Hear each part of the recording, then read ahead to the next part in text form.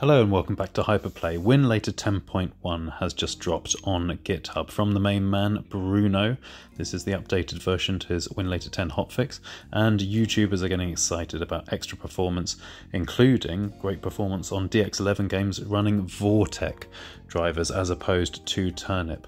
So let's put that to the test because we've been playing Octopath Traveler 2, which is not only a DirectX 11 game but also runs an Unreal Engine, and we'll see whether we can get it working with Vortek instead of Turnip drivers, which will be useful for those who have potentially a low end device one way or another. So we're going to GitHub and you'll have seen we download the APK, fired up the APK, here's our first container and we're going to leave this largely as is with the Vortek graphics driver and the DXVK set to 1.10.3.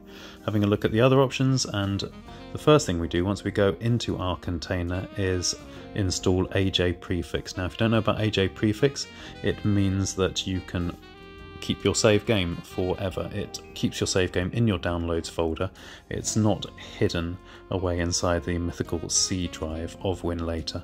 So it does mean you'll be able to fire up your save games, whichever Winlator version you use. It means you can chop and change and test different ones, and you'll always have your save game.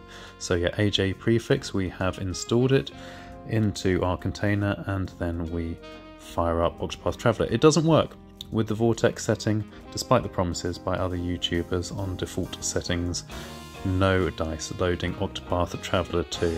Trying again, tweaking a few settings with Vortek, still no dice. It's not until we go back to our tried and tested turnip driver and we download the, uh, you can download inside the container, you can download turnip driver 24.1. It's not until we go to 24.1 and DXVK 1.10.3, which is actually the default, and fire up Octopath Traveler, that we actually find that it works.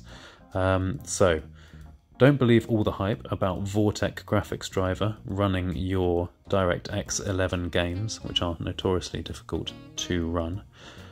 But when you do eventually fire up your game, and it will be, no doubt, with the tried and tested Turnip driver, and the DXVK graphics wrapper, you may indeed find, like we did, that you get a good FPS and very stable gameplay. We thoroughly expected the game to be crashing while casting these spells.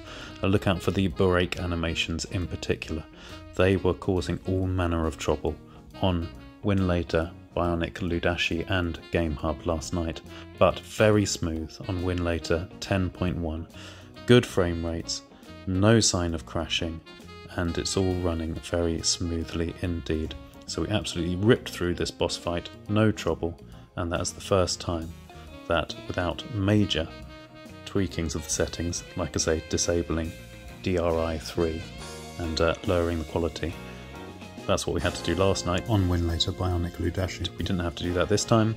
We just fired it up, Turnip Driver 24.1, um, spoofing NVIDIA GTX 1070 1070, uh, DXVK wrapper 1.10.3. Uh, I think it was box 0.3.4 rather than 0.3.6, although I'm not convinced that makes a huge difference. And here we are, absolutely splendid. Winlator 10.1 is definitely an upgrade, we would say, on Winlator 10 hotfix, because whilst that was pretty good, we did still get screen tearing.